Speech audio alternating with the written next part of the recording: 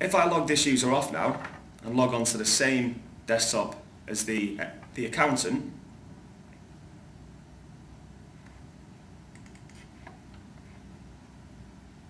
So back on XP Desktop 1, this time rather than logging on as the engineer, I'm going to log on to the same machine as the accountant. So again, we're still loading the same mandatory profile as far as AD is concerned, so it's nice and fast to log the user on. But because this user is part of the finance user group, they've got the finance background set, they've got the stereotypical finance application firing up. They've got different icons on the desktop, and if I go to the start menu, you can see that we're actually forcing a classic start menu here, so we're actually applying group policy, but this is using Environment Manager to do that. If I go into the Programs menu, this user's got the same access to the accessories, same access to Adobe Reader, but if we look in the Microsoft Office area, they've got access to all the products. If I go into my computer, you'll see that we've got the Finance Map Drive, and also if we look in the printers area, this group of users has the Finance printer. So this same desktop is customized one way to look and feel like a, a finance desktop for the finance users and an engineering desktop for the engineering users. So how are we doing things different then? As I said, we're not, we're not having to manage complex login scripts which all execute in sequence and we're not actually managing the group policy in the same methods as uh, the standard way within Windows. So let's see how we're actually managing this within our, our GUI.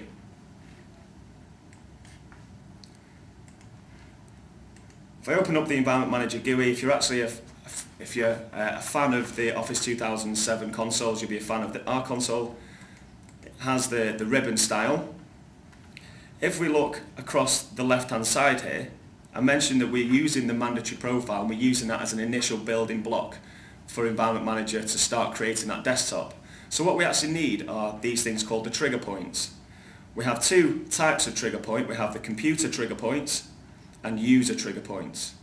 Now, standard methods of uh, logging scripts for doing applying policy in the past will use the log-on trigger point and the log-off trigger point. We have these additional trigger points, process start, process stop, network connect disconnect, session reconnect disconnect, and session locked and unlocked. So I'll show you the advantages of having those additional trigger points shortly. If we first have a look at the types of actions that we can do with Environment Manager, if I go to the actions list at the top, Environment Manager actually starts with a blank config, unlike the other products, Application Manager and Performance Manager, which come with an out-of-the-box config.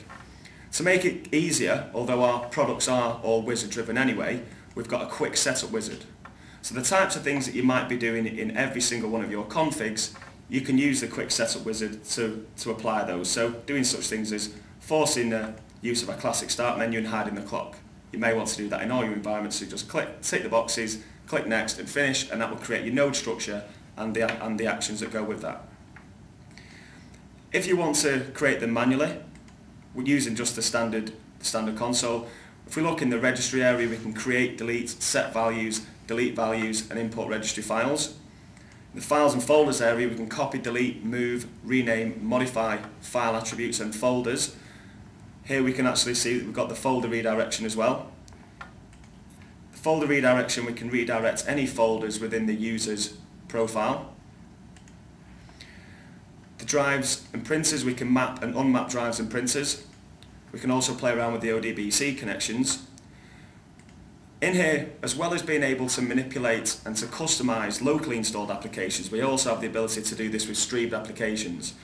We have an AppV wizard which is integrated into our console where we can actually hook into the the AppV OSD, so into the secure bubble, but we can also do this with Citrix streamed applications as well.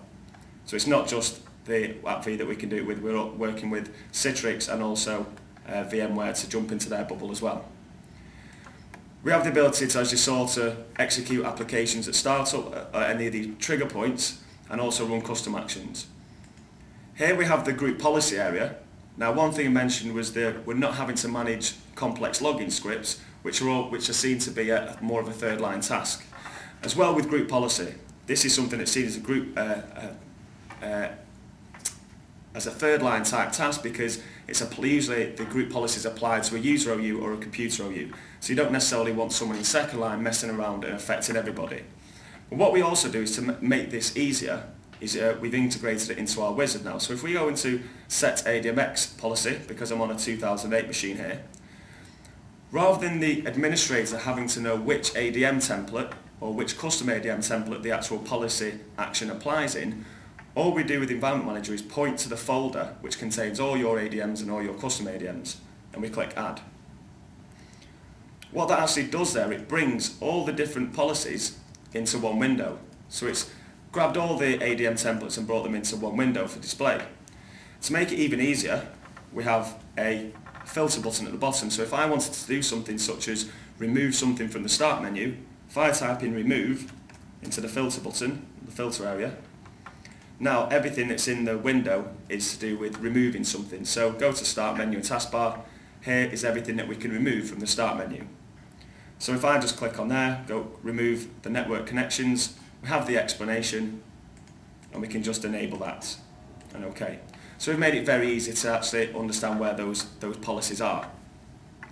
But as I said, usually this applies to a user OU or a computer OU. So we've made it nice and easy to find, but we obviously don't want to apply this to everybody.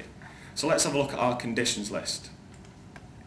So in our conditions list, we have the directory memberships area, so we can apply any of our actions, including the, the, uh, the group policies to a user OU or a computer OU. But we can actually look in the user area there, we can actually apply them to a single username if you wanted to, so apply it to a test user only. So you can apply your group policy to a test user, for instance. You can apply it to a user group, anyone that is or is not an admin. If we look at the session and client conditions, we can look at the client connection protocol, the client IP address, the screen resolution. Computer area, we can look at the computer domain, computer group, even down to a MAC address level. So thinking of the actions there, applying any of those actions, including group policy actions, to a single MAC address if you wanted to. So it can be very granular. Looking back down the left hand side here, I mentioned the trigger points. Everything that happened when my user logged on was performed at logon. So these were all the logon actions, and we've said that group uh, that login scripts all apply at logon and they all apply at logoff, but we've got these additional trigger points. So what's the benefit of having these? If I jump back to my user, who's still currently